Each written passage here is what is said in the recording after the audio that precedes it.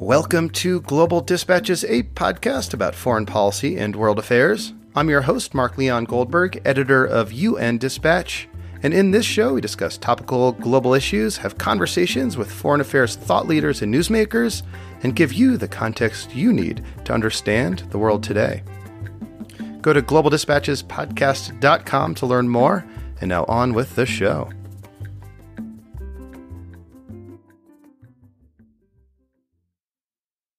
For 27 years, the question of what to formally call the country informally known as Macedonia has been a diplomatic thorn in the side of Europe and the Balkans.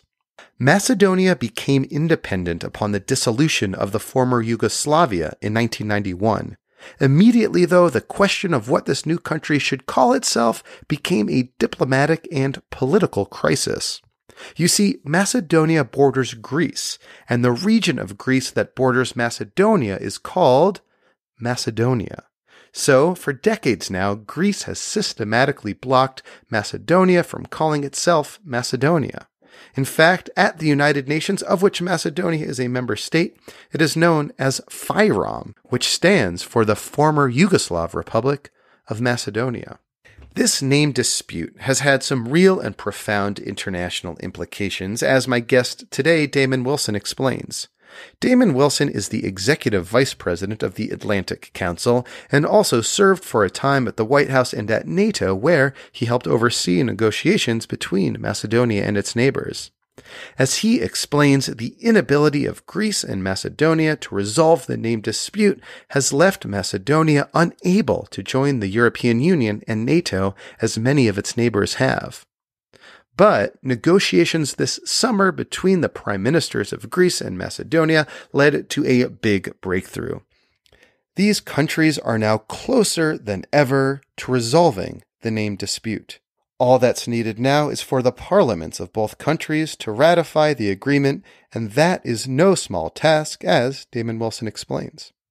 This is an extremely helpful explainer on the history of this Macedonia name dispute, which is actually like a really big uh, deal in international relations and also in the United Nations itself. I, I, mentioned this during the interview, but as someone who covers the United Nations, whenever I, I write on this or report on this issue, um, it's incredible and amazing to me the amount of feedback and, and oftentimes pushback I get from people who are sort of inflamed and have their passions inflamed by um, this question of, of what to call this this country of Macedonia. Anyway, I think you'll find this conversation very helpful and enlightening. So here is my conversation with Damon Wilson of the Atlantic Council. Macedonia is it's a small Balkan country that's nestled in southeastern Europe. It's at the bottom base of what used to be uh, Yugoslavia, the former Yugoslavia. In fact, uh, the name that the country's been saddled with uh, since uh, the former Yugoslavia fell apart was the former Yugoslav Republic of Macedonia, FYROM. Uh, and so the southernmost province of Yugoslavia borders Greece, and it borders the areas of northern Greece, which Greeks call Thrace and Macedonia, Macedonia. Uh, and hence, this is a country right, landlocked, small country, uh, right in the heart of the Balkans nestled in between Serbia, Bulgaria, Greece, Albania, and Kosovo. Uh, and it's because of its geography that it has all of this complication. Uh, it's been a part of uh, population movements from the Ottoman Empire to the Austro-Hungarian, uh, pushing back and forth. And the historic dispute, of course, is where was Alexander the Great and the, the great empire of Macedon, and where was that situated?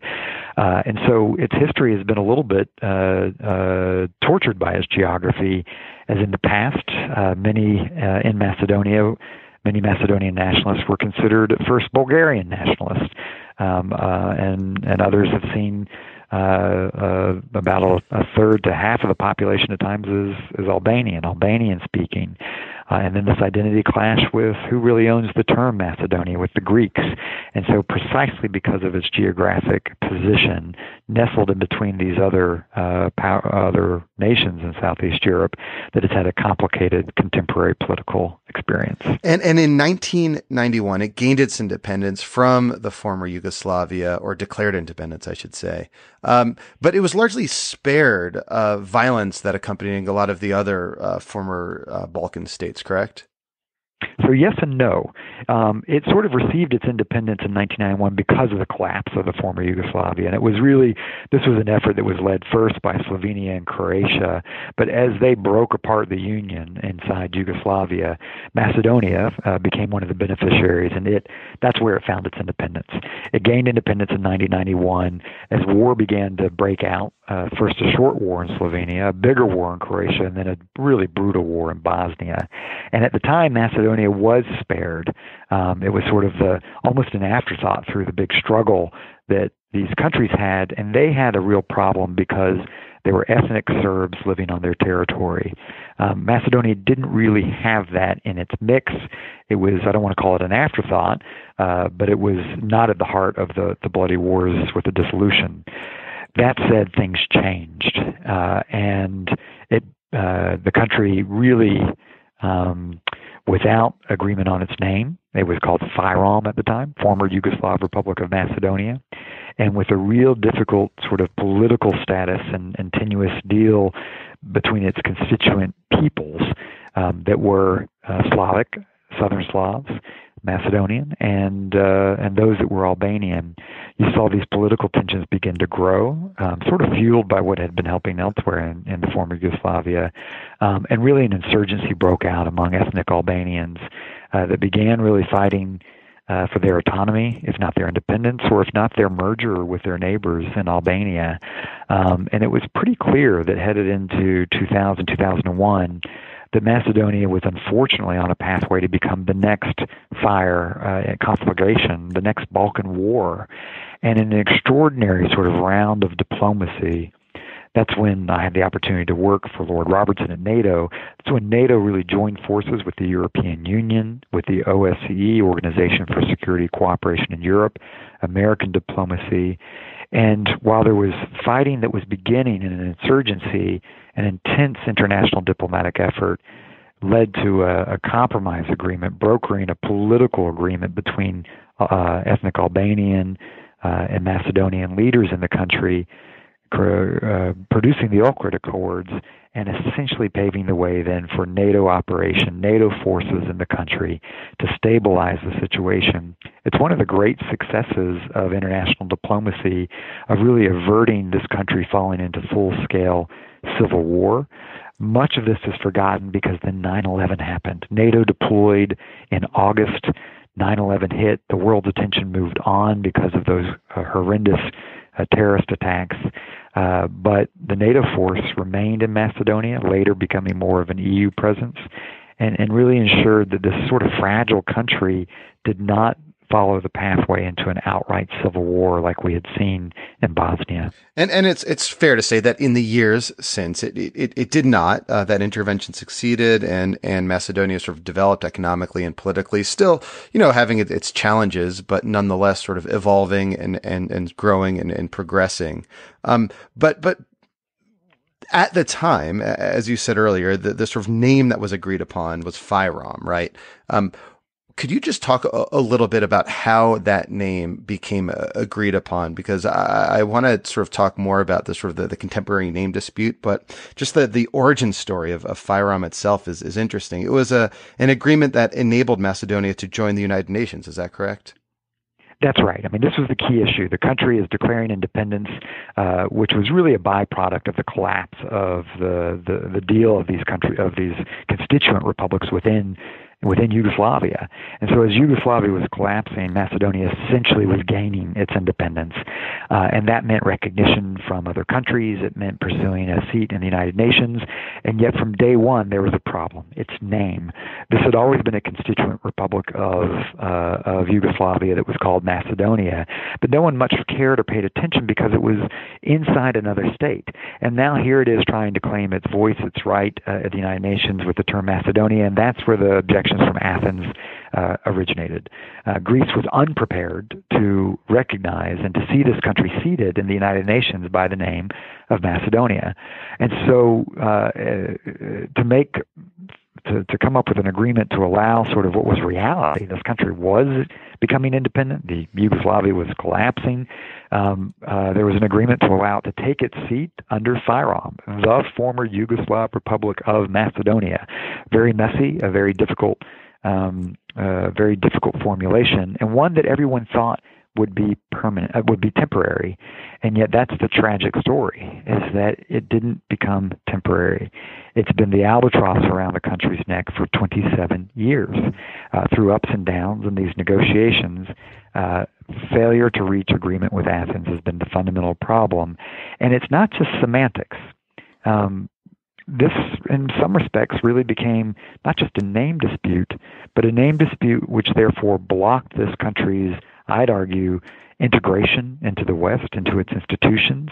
It it, bro- it, it blocked its ability to to move into NATO, mm-hmm. to begin the process of negotiations with the EU. And and, and that's um, because Greece, right, right, basically vetoed its uh, you know talks with the European Union or or its entering talks with NATO. Correct. That's right. You know, there was an agreement, there was an understanding that once FYROM was the name, and that's what it entered the UN for, that the negotiations would continue, and the UN uh, appointed Matthew Nimetz, uh, uh, an independent a negotiator to try to work with both sides to come to an agreement. And so the idea was, okay, let's let things work practically. Let this country operate in these institutions under FYROM, and in the meantime, diplomacy will continue, and we'll get to an agreement somehow. Um, and yet, it didn't really play out that way. The two sides really didn't come to an agreement. And when push came to shove, and the issues came to a fore, and the country was getting increasingly close to be re- ready to um, uh, uh, apply to NATO. Uh, it was in the membership action plan under the name FYROM, um, and it was coming to a head that it was, you know, many of the allies, the United States included, were ready to say, okay, as we head towards our summit in 2008, um, uh, so this is a decade ago, the country's pretty much ready to receive an invitation to NATO. And this is where sort of the game changed. And the Greeks said, well, you know what? That that that arrangement we had to allow the country to enter the United Nations under FYROM, as well as some other in, international arrangements. We're not going to give up our leverage on, on the real prize, NATO, and then eventually EU membership. Um, and we're not going to let this country join under FYROM, even though that was sort of the understanding. That was what was expected, uh, that we all wanted a deal on the name. But the absence of a deal, the country could still join as FYROM, just as it did with the UN. The Greeks changed the equation, said, nope, uh, we don't we want to we want to have a name the name dispute resolved before we actually uh, welcome this country into our alliance, and that's when we hit a brick wall in 2008 at high stakes, high drama Bucharest summit, late night negotiations, strong push by the U.S. administration uh, to push NATO enlargement into the Western Balkans. Uh, and when push came to shove at the table around uh, NATO leaders, we got a consensus on Albania and Croatia, and we failed to get a consensus on Macedonia precisely because Greek objections. But those Greek objections were backed up by other allies like France that weren't going to put that kind of pressure on Greece. Mm. And and you were there. You you were at those negotiations. Uh, I was. They were pretty painful. I was serving at the time as a special assistant to the president, a senior director for European affairs at the National Security Council, and my remit was uh, everything involving Europe. So I had been involved uh, from the, the NSC perspective in both the name negotiations, the NATO summit negotiations, our real push. And we really saw this as an important summit uh, to consolidate um, and to really turn a page on the bloody chapter of the Balkans history by bringing in three countries, Croatia, Albania, Macedonia, and by welcoming them into the NATO alliance. This would really solidify, I think, a sense that the region was coming out of its bloody past and was really going into a future that would offer it a sense of stability, security, and with that, a sense of, of prosperity. And instead, we came out of Bucharest with with consensus on Croatia and Albania, uh, and despite uh, late late night negotiations while we were there, there in Bucharest and a lot of negotiations up to then, um, we couldn't get Athens uh, to budge. We couldn't reach an agreement. So, so maybe you're an excellent person to pose a question that has been beguiling me for for years. So I've I've written about this issue off and on, kind of from a UN perspective. My my day job is, is also to write a, a blog about the UN and, and global affairs. And whenever I wrote a post over the years about this name dispute, you know, the, the comment section would, would flare up. It really like inflamed passions. I'd get flooded with comments, vitriolic emails. Uh, I, I never quite understood why this name issue touched such like a deep nationalist nerve. Can you uh, explain that to me? Yeah, you know, at the end of the day, I mean, think about we've gone through this incredible historic cycle in Europe. It was nationalism, it was militant nationalism, which led to the greatest catastrophe of the 20th century as we saw militant nationalism turn Europeans against each other and brutish and brutal war in World War II. Um, and we've seen this great European project post 1989 uh, to be this interesting set of pressures. On the one hand, it was an embrace of, of countries and their sense of identity and their ability to, to determine their own future. And you saw the countries of the Warsaw Pact, the constituent republics of the Soviet Union, these so called captive nations really shed that sense of captivity, embrace their identity, embrace their patriotic sense of their own country, their own identity, and their ability to determine their own future, and then voluntarily cede some of that sovereignty by joining the European Union and becoming part of the NATO alliance. And so you see these countervailing forces that have played out in a more difficult way in the Western Balkans. These countries, uh, with the dissolution of Yugoslavia, had a chance to form their own identity, to put an emphasis on their own language, on their own national symbols, their flags. And these are countries that either never had independence or had brief periods of independence, some of them very uh, stained with difficult chapters in their history. And for Macedonia, this was this was something new, a, a chance to give rebirth um, to a country that had only sort of barely existed before. And so the emotional attachment to your identity, your language, your name. Um, this is a historic development for the country, rightly so. And I think that's where you see a little bit of why there's so many emotions attached to this, because this is a country that uh, uh, hasn't been able to call itself a country for most of its period of identity. And this bumped right into uh, the sentiments in northern Greece, people that uh, use the term Macedonia to refer to their region, uh, uh, people in that region that marketed products branded Macedonia. And There's a real commercial dispute of, of how you're using that term as well to market things globally. And of course, the history. Who owns the legacy of the Macedonian Empire and Alexander the Great? Uh, and this insecure nation, almost one that slipped into civil war, um, probably went a little bit too far in trying to embrace the symbols, the symbolism of Alexander the Great. Naming the airport after, after after him for naming a while. Naming the airport right? yeah. after him, putting up statues everywhere. To be honest, um, this really after 2008, after Macedonia failed to get into NATO, we saw the country, I think, take a wrong turn and it was it's it's it, by being vetoed by joining the Western Club, we almost saw it turn internal, become a little bit more nationalistic, to grab at some of these symbols, and in doing so, to actually exacerbate the relationship with Greece, um, and to to uh, to to begin to almost erode its sense of where it was going, uh, erode the sense that this was a small democratic free market country that could be part of Europe. As Europe looked further and further away, it took a turn harsher in, in terms of a weakening of its democratic institutions, so, its rule of law, its economy. So, so can I ask then, what happened after you know 27 years of stagnation? Finally, over the summer, we have progress and we have an agreement between Greece and uh, Macedonia.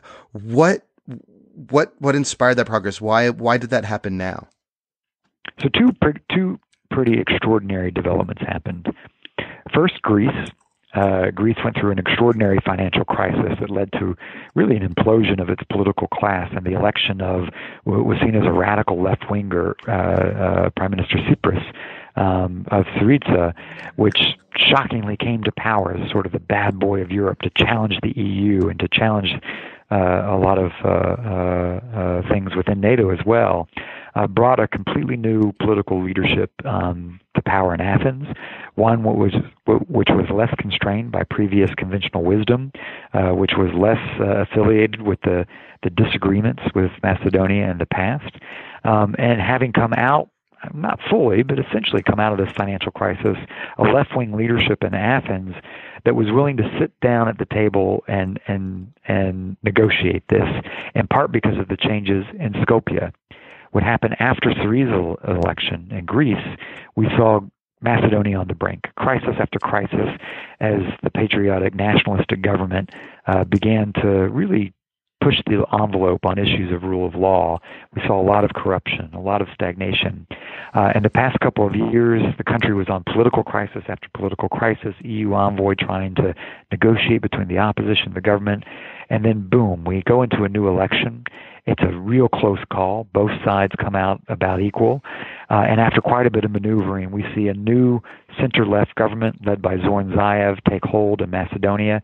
And that's when things change. The stars aligned. A government in Athens, a government in Skopje, um, willing to shed the, the, the old positions that both nationalists had held in the past in both countries. And Zoran Zaev came to power as prime minister single mindedly focused on resolving this issue so that he could put this behind him and ensure that Macedonia would be anchored in NATO and the EU. And he has pursued this relentlessly. And it is because of that specific leadership of Zoran Zaev and, Skopje uh, and the willingness of Tsipras to, to, to do things a little bit differently in Greece that led to the Prespa agreement. So, so can you just very briefly explain what the Prespa agreement called for? Sure, this is an agreement negotiated by the two parties themselves. It's not imposed by the Americans or by the EU, uh, as some would have you believe uh, inside Macedonia or Greece. This is an agreement negotiated by the two governments themselves uh, at a lake in the Balkans called Prespa that really captures an understanding uh, that um, that essentially rec- uh, that the country of, of the, the government based in Skopje would agree to constitutional changes that would rename the country the Republic of North Macedonia, that would protect the sense of identity and language as Macedonian, but would call this country North Macedonia, and thereby an agreement to be accepted and ratified in a Greek parliament.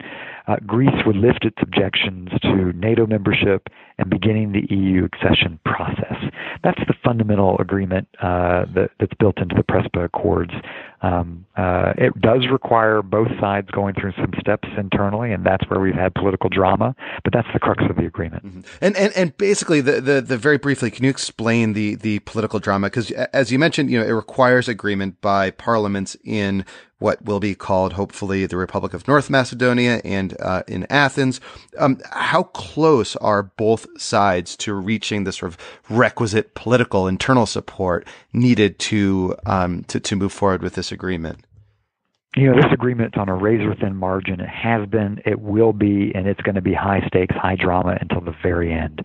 We've just come out of an extraordinary period in Macedonia where, after the agreement was reached, uh, the opposition expressed a, a, lot of displeasure. And uh, Zoran Zaev decided to call a referendum. Uh, decided to make that a consultative referendum rather than a binding referendum uh, to gain the support of the people to stand behind this uh, before he would have to take it to Parliament to get the votes. The referendum didn't go exactly as planned. There was a big boycott movement. Uh, and while the referendum results were over 90% in favor of the question, do you want to join NATO and the EU by accepting the terms of the PRESPA agreement? So over 90% voted yes under 40% turned out. Um, and while much of the uh, Macedonian electorate has actually left their villages to go work in Europe, it's really hard to get to 50% in Macedonia. It was still lower than people would have wanted. And so the ball moved into the parliament uh, and the parliament's court. Uh, the government, Zoran Zaev, his team, his coalition, he had to gain eight more votes from the opposition. Uh, given the way the referendum went, that was going to be a tough task. Um, he raised the stakes by threatening to call early elections, thinking that many of those MPs would know that if if they opposed the agreement and went to early elections, uh, that the opposition they'd actually lose seats. Um, and in a good uh, a good story of uh, old politics, arms twisting. Um, the, he succeeded in getting eight defectors from the opposition to join in backing the vote. And against all odds, he got 80 votes, a constitutional two thirds agreement, a constitutional majority uh, to set this in train. And now, now the ball is in Greece's, right? Now, now the ball is in, in yeah. Athens' court. Exactly. There are going to be a few more votes uh, that have to go through uh, the Macedonian parliament, and he'll have to do one more big vote, two thirds. But essentially, he's now stitched together just barely uh, that coalition. It can fall apart, but but it looks like he's got his pathway in, in Skopje. Now the ball does shift to, to Athens, where the Greek government's teetering. Uh, its opposition. I mean, it's a coalition partner, a small uh, party called the Independent Greeks um, has balked at this agreement, says they don't want to be part of it, uh, and in fact is, is backing out of the government. And so now Prime Minister Tsipras, just like Prime Minister Zoran Zaev, found, finds himself on a razor thin margin. Now in Greece, he just needs a majority vote. Uh, the opposition, New Democracy, has declared their opposition to this vote. His own coalition partner has declared his opposition. And so there's a small smattering of sort of independents and, and other centrist groupings that he has got to bring on board to get to a majority vote in the Greek parliament. Uh, and that vote needs to come uh, after the Macedonian process wraps up, which will be at the end of this year, January. The big question looming over this is can Tsipras call that vote one, can he stay in power long enough as a minority government? Can he stay in power long enough to call that vote? When he calls that vote, can he win it? Or will he be forced to call early elections? They're not normally scheduled till next October, but it looks likely that that'll be pulled forward uh, to the spring of next year. So the, the clock is ticking both in Skopje to finish up by the end of the year and in Greece to get this vote done before they go into early elections. The, the elections in Greece look like he'll lose. The prime minister will lose if the opposition takes power, they said they would block the deal. So the window is pretty tight. The politics are pretty narrow. Well, Damon, this this is a, a, fascinating and and this Greek drama is yet I think another example of just how um, impactful uh, to international affairs. You know what Macedonia's name is uh, sort of persists. You know, twenty seven years later. You know, it's it's right. I mean, it is important to step back from this. Why does all this matter? And it matters for I think just a couple of reasons. Um, look, it's these kind of differences in, in the past have led to um, really bloody conflict in the Western Balkans, and this whole process of, of democratic transformation, opening reforms inside these countries, uh, uh, paving the pathway to these countries becoming part of NATO and then the EU. This isn't just a formula. This is really part of a historic process. It's part of a historic process of former adversaries becoming allies. It's the story between France and Germany having been uh, adversaries for so much of their history to have become allies within the NATO alliance and with, within the EU. Well, that's the same story playing out here. Can we overcome a, a really difficult past in the region? and bond these countries together uh, through open uh, relationships, integrated economies, and in alliances that actually take former adversaries and make these folks uh, become part of a community with us, standing together. And at the same time, um, we've seen an, a geo- geopolitical competition into the fray. Uh, we've seen Russian influence wanting to play a disruptive role, undermining public opinion for this in Greece. Uh, we've seen the Greek government expel uh, several spies from uh, Russian spies from uh, Greece itself. We've seen this play out inside Macedonia. Um, there's an understanding that if these historic differences are overcome, that it allows a more integrated Europe, a more integrated NATO alliance to focus on the more difficult challenges ahead of us. And there are those out there, whether they are um, uh, the Russians or, or other forces, that really don't want to see see this succeed. Um, they're legitimate concerns, no doubt. I mean, people who feel strongly about their identity, uh, they're not tools of Russia. They, they feel that those are their views. Uh, but it just shows that there's a little bit of a geopolitical mix to what's unfolding and why there's strategic issues at stake. Uh, well, Damon, thank you so much for your time. This was very helpful. My pleasure. Thank you so much for covering this important issue.